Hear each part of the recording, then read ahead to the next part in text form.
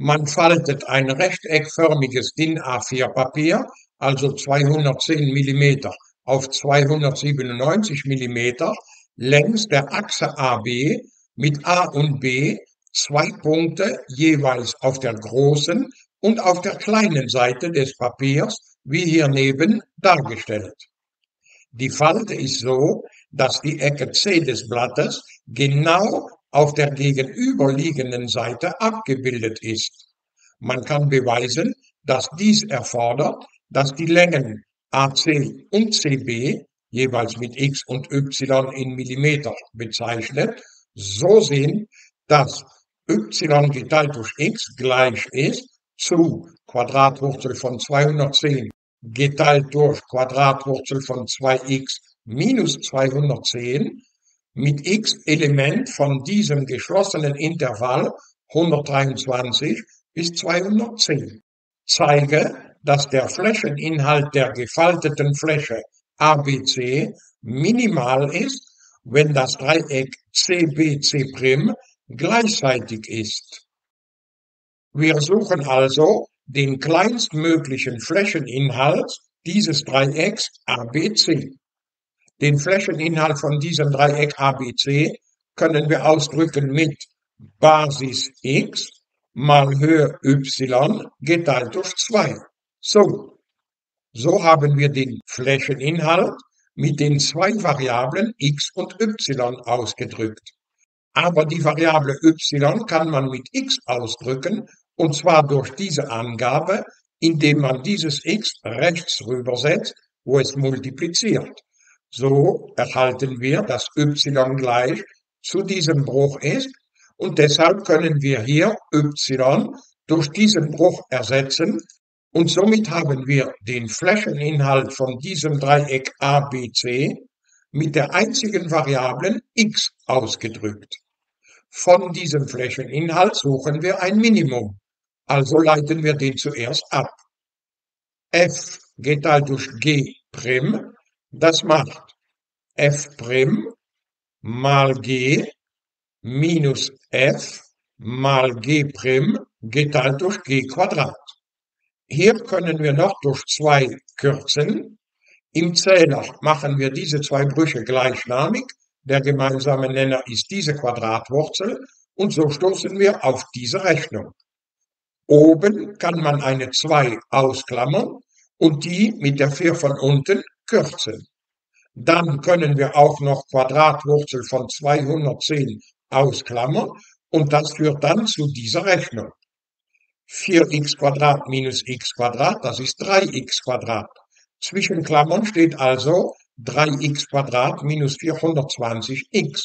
Da können wir noch 3x ausklammern und so stoßen wir letztendlich auf diese Ableitung der Funktion a. Wir halten diese Ableitung hier fest und werden davon eine Zeichentabelle machen.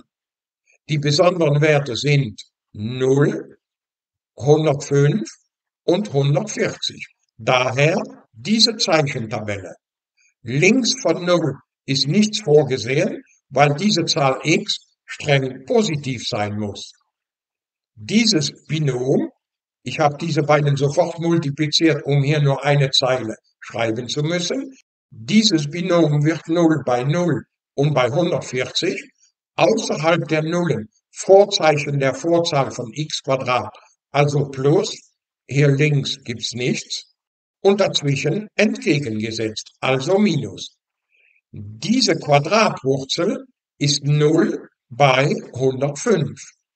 Rechts von der 0 ist die Quadratwurzel streng positiv, ihr Würfel also auch, und links von der 0, also hier, gibt es die Quadratwurzel nicht, den Würfel also auch nicht. Daher diese Zeichenzeile. Jetzt Schlussfolgerungen für a' von x. Hier Schrägstrich, weil da ein Schrägstrich ist. Hier auch.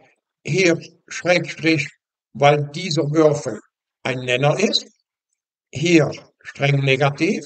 Hier 0 und hier streng positiv. Und daher diese Schlussfolgerungen bezüglich a von x. Wir haben also herausgefunden, dass der Flächeninhalt von dem Dreieck ABC minimal wird, dann und genau dann, wenn x 140 beträgt. Also so. Der Flächeninhalt vom Dreieck ABC ist also minimal dann und genau dann, wenn x gleich 140 ist. Und genau in diesem Fall sollen wir beweisen, dass das Dreieck BC'C ein gleichseitiges Dreieck ist. Und um das zu beweisen, berechnen wir einfach die drei Seitenlängen und schauen, ob sie gleich sind. Beginnen wir mit der Länge dieser Strecke BC. Die Länge dieser Magenta-Strecke, das ist natürlich y. Und wir wissen, dass y gleich zu diesem Bruch ist. Also brauchen wir x nur noch da und da durch 140 zu ersetzen und somit finden wir sehr schnell, dass diese Magenta-Strecke als Länge 140 Quadratwurzel von 3 hat. Jetzt diese Magenta-Strecke BC'. Durch dieses Falten wissen wir, dass BC' genauso lang sein muss wie BC. Also ist die Länge der Strecke BC' auch 140 mal Wurzel 3. Fehlt nur noch die Länge der dritten Seite. Und um diese Länge zu berechnen, werden wir zuerst diese Ecke da unten mit D bezeichnen und arbeiten jetzt in diesem grünen rechtwinkligen Dreieck C, C', D. Der Satz des Pythagoras besagt, dass die Hypotenuse gleich ist zur Quadratwurzel der Summe der Quadrate beider Katheten.